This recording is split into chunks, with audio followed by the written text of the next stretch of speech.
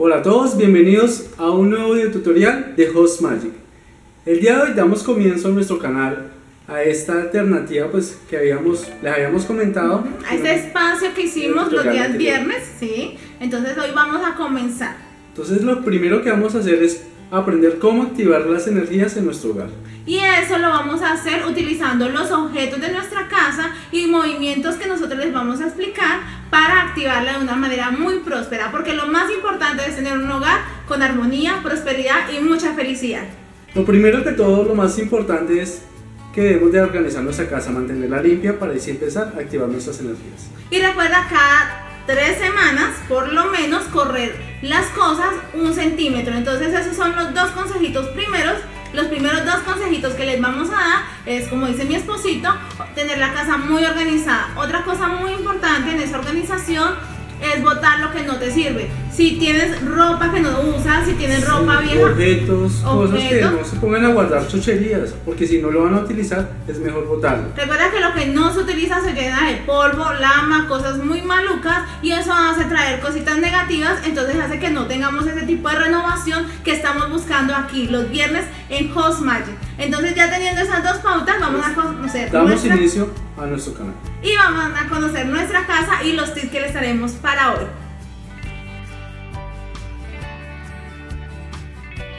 Bueno, aquí nos vamos a ubicar primero en la entrada. Entonces, ahí donde está mi esposito, en la entrada de nuestra casa, y vamos a ubicar nuestro espejo a mano derecha. ¿Por qué lo hacemos de esta manera? He visto errores muy notorios en cuanto a la ubicación del espejo muchas personas lo hacen en todo el frente de la puerta. Esto no se debe hacer ¿por qué? Porque muchas veces también vienen cosas positivas para nosotros y lo que hacemos es que esas energías se reboten.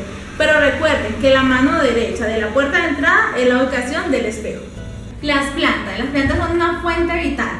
Entonces las vamos a ubicar en toda la entrada de la casa. Nosotros aquí las tenemos en la esquina al lado izquierdo y como recomendación vamos a utilizar lo que son flores para que boten todo ese aroma delicioso que ellas tienen. Y en ese caso, para que no digamos se ponga el agua súper fea, la de florero, vamos a aplicar un poquito de cloro, pero unas goticas, algo muy mínimo para que ellas permanezcan ese olor tan delicioso que tienen y ayuden a equilibrar las energías. Y también vamos a utilizar lo que son eh, de tierra y esas vamos a hacerlas en lo posible de hacer que sean redonditas, de hoja redonda, como la que yo tengo aquí, que es Millonaria. la millonaria. Entonces, esa nos ayuda muchísimo porque es un símbolo de dinero.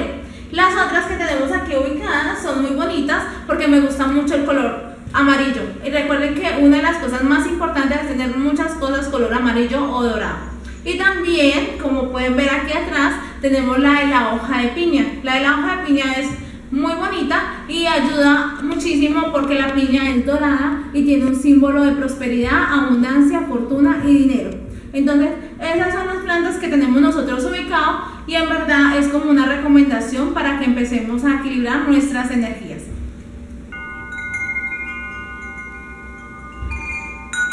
Si escuchan, vamos a hablar sobre los sonajeros o los móviles. El sonido que producen ayudan a absorber las energías tan dañinas que causan enfermedades. Así que es muy bueno ubicarla en toda la entrada de nuestra casa. Es supremamente importante que en toda la entrada de nuestra casa tengamos la foto con nuestro esposo. Y muy importante, sobre todo, hacerlo en madera, que el marco sea de madera porque eso da un símbolo de fuerza y de unión. Entonces recuerden, si de pronto no tienen esposo o no tienen pareja, entonces que sea la foto de su hogar. Si tienen hijos, entonces la esposa, el esposo y los hijos. Eso es muy importante porque simbólicamente hace que una pareja tenga mucha más armonía en su hogar. Los símbolos dorados son muy importantes en nuestra casa. Recuerda que el dorado es fuerza, es prosperidad, abundancia, fortuna y dinero. Entonces es muy importante tenerlos en tu hogar. Nosotros como símbolo tenemos estas moneditas que son moneditas chinas y también tenemos dos en la alcoba que ahorita más adelante van a ver y eso hace que haga como un equilibrio para la prosperidad de nuestra casa. También muy importante que los objetos de nuestra casa sean redondos. Eso también tiene un como el símbolo de la moneda. Entonces es muy, muy fuerte ese símbolo y ayuda a equilibrar las energías, más que todo en la prosperidad. Aquí, haciendo como, como fuerza en este lado que estamos, aquí queda el baño de nuestra casa. Bueno, lo más importante del baño, si lo ven acá al fondo, es que el baño siempre permanezca cerrado, nunca lo dejen abierto y más la tapa de sanitario. Eh, estamos aquí en el área de estudio. Acuérdense que los aromatizantes son muy importantes y aquí no hay la excepción. Para ayudarnos a concentrar, para ayudarnos a estabilizar, vamos a hacer como la parte de los ambientadores y en este caso vamos a utilizar los granos de café. Vamos a permanecer el lado donde vamos a estudiar, donde vamos a hacer nuestro trabajo muy organizado. Recuerden siempre tener los cajones cerrados y muy bien organizados. Nuestro escritorio limpio es muy primordial para que las energías fluyan correctamente. Recuerden siempre en la entrada del cuarto, este es nuestro cuarto, entonces siempre en la entrada ubicar un cuadro donde sea como un paisaje, donde fluya el agua, donde haya un sol, donde haya montañas, donde hayan árboles, porque esa parte natural ayuda a equilibrar mucho nuestra energía y mucho más antes de entrar a un lugar tan armonioso como es nuestra habitación. Antes de entrar a nuestro cuarto, lo olvidaba y es que queda nuestro comedor. Entonces en el comedor siempre hagan esto. Vamos a utilizar en nuestro comedor este tipo de decoraciones que nos ayudan muchísimo a traer la prosperidad, la abundancia. Los granos son símbolo de que nunca nos va a faltar la comida. Así que si no has visto el cómo hice esta decoración, te invito para que mires la caja de información y ahí voy a dejar el link en donde hice esta decoración y en verdad es muy importante tenerla en nuestra casa y más en nuestro comedor. En el alcoba vamos a tener más o menos tres tips. El primero es que la ubicación siempre tiene que estar en todo el frente de la puerta. Entramos y la cabecera siempre tiene que estar apuntando a la puerta principal. Así que nuestra cama está muy bien ubicada. Si tu alcoba, si tu cama, perdón, está ubicada al lado, digamos un ejemplo, que la cabecera estuviera al lado de ella y la cama estuviera recostada, estaría muy mal ubicada. Porque esto hace que las energías no fluyan correctamente. Entonces ese es el primer tip. El segundo tip es con las sábanas o las fundas de nuestra alcoba. Nunca vamos a poner colores tan fuertes como es el, bueno, el negro es el único que es permitido, porque el negro y el blanco ayudan a establecer las energías, ¿saben? Lo del yin, el yang, lo bueno y lo malo, eso es muy bueno esos dos colores, pero si eres una persona soltera, pero si eres una persona casada, los mejores colores para utilizar en las fundas o sábanas de nuestra alcoba es el color naranja porque atribuimos lo que es la prosperidad. El color que es el color rojo para encender la pasión. Y si quieres algo muy neutral para que tu energía esté como muy pasiva y muy tranquilizante en la cama o en tu hogar, utiliza mucho lo que son las sábanas o fundas blancas. En la alcoba no se pueden tener nada de espejos, por nada tengan un espejo y si lo tienen traten en la noche de taparlo. ¿Por qué? Porque estos absorben energías negativas como positivas y recuerden que todo lo que está en un espejo se rebota, ya sea para bien o ya sea para mal.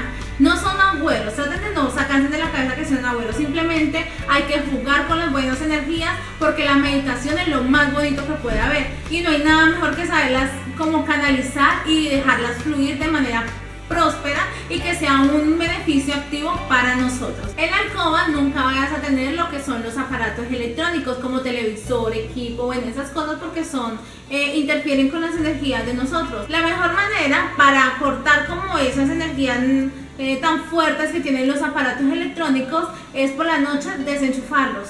Entonces eso es un buen tip y trata de utilizarlo porque en verdad ¿A qué atribuye eso? De que estas cosas que te estamos diciendo el día de hoy ayudan a que las energías como que se equilibren, que mantengan una persona más alegre, más activa, más fuerte, con mucha fuerza. Esas maneras de que muchas veces esas personas, digamos ahorita me tienen muy cansadas, tú las ves y duermen con el celular aquí pegado, eso hace que se desgaste. Ellos, ellos atribuyen a que tú mantengas cansado, que mantengas como, ay, ¿sí? Como ojeroso, como que, ay, como bajo de nota. Eso atribuye a esto. Entonces, para esto son esos tips que hemos dado el día de hoy y que en verdad esperamos que los utilice.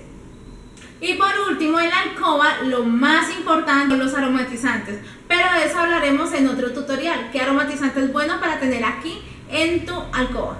Bueno, esperamos que les haya gustado que lo apliquen en sus hogares para activar esas energías positivas, para que mantengan su casa con mucha armonía, felicidad y sean unas personas muy prósperas, con mucha, no sé, como eh, energías positivas, bueno, esas cosas bonitas que realmente valen la pena. Entonces no se te olvide suscribirte y estar siempre atentos a nuestro canal. Bueno, esperamos que les haya gustado y nos vemos en otro nuevo video tutorial de Host Magic. Que estén muy bien. Chao. Chao.